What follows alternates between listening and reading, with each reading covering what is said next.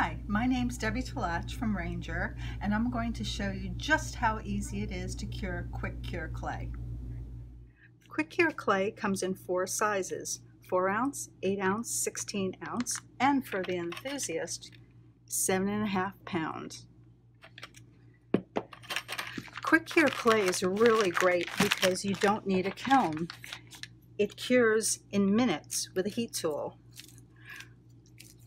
You want to work in a well ventilated area and you want to wear gloves. I'm going to use a small piece and just use my fingers and the back of a brush to make a small little heart.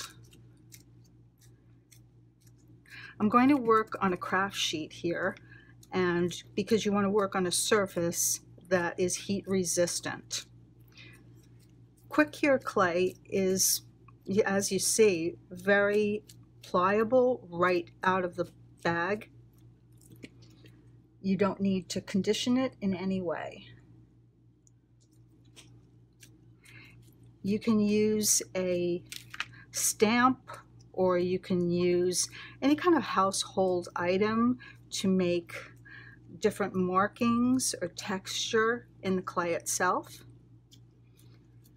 I'm just going to make this little heart here and I'm going to use the craft tool to just heat it all over. The smaller pieces are going to seem to cure a little bit faster because they're smaller and it takes less time to heat a smaller piece than a larger piece, but I want to heat my piece evenly all over first, and then I'm going to kind of concentrate in one area.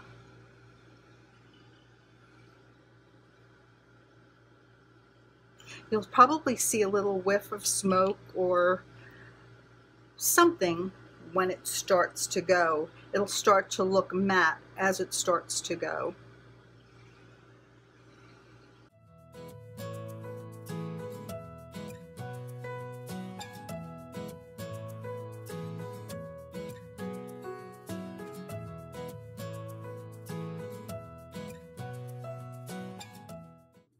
When you're done curing the piece, it's going to be hot, so don't touch it, leave it for a little while, but you'll see it cures to a rock hard finish.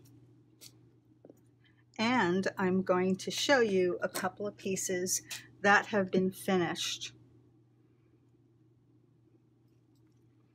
These are jewelry pieces, but you can make sculptures as well.